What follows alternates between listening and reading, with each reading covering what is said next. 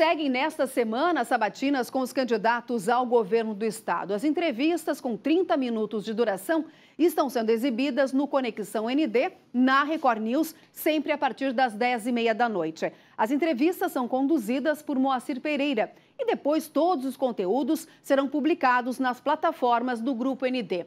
O entrevistado de hoje, o convidado, é o candidato Décio Lima, do PT.